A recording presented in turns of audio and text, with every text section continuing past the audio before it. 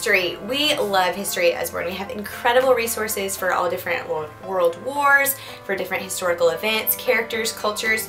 This one is Greek myths, um, and it's a beautiful storybook that's illustrated. I'm going to find a beautiful illustration.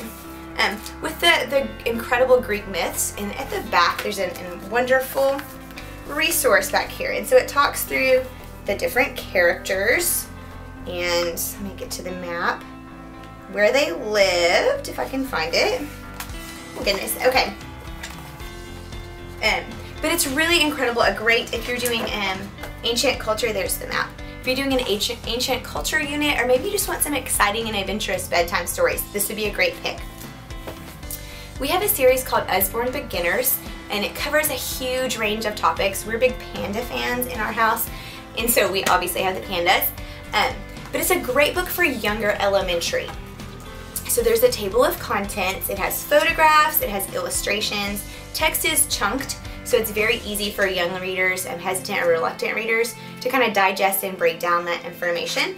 There's a fun little character on every page that pops out, just a fun little fact that you might know about your topic. There's dangerous animals, there's all different like space topics. So this is a great one um, to stock your home or classroom library for those maybe after lunchtime reading sessions. Have a kid go grab one of these that interests them and it'll really draw them in because they're reading about something that they care about. I mentioned our encyclopedias. This is just our general children's encyclopedia and it is packed with all kinds of stuff. Beautiful illustrations, beautiful photographs, and I love this page, Ancient Greece, again. And beautiful, beautiful, beautiful. It is internet links. Let me find a site here.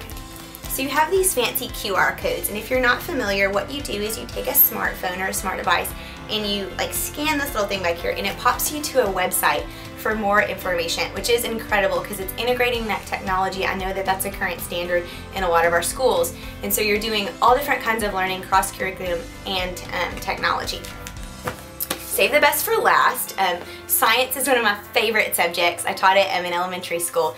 And this is a book that it's probably my top five favorite books. 100 Things to Know About Science. And I love the illustrations. They're this kind of fun, chunky graphic design style. Um, and it has just a list of 100 different random topics. Like there's a page all about pencils and diamonds. Really random. Um, there's Whales have finger bones is number 65.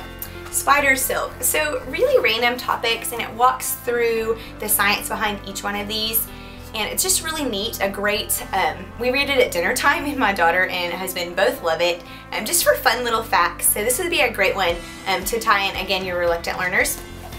And this is um, incredible. 365 science activities. I recommend this for every parent, every teacher, whether it's science or not. It's incredible. It has a spiral bound book with amazing science activities. So I taught art and we actually did this activity and photographed it. And so it's a science activity. We walked behind the science behind it and documented it through photography. And so we were cross curriculum there. Uh, but it's beautiful, it's fun. Um, I think it would be perfect. I taught high school when I did that project. And so you don't have to be an elementary student um, to do silly fun activities. It's a really great way um, just to, to make learning interesting and fun. So I hope you've seen something here that can help spice up your education, classrooms, home libraries, and, and just make learning fun. That's our goal here at Usborne.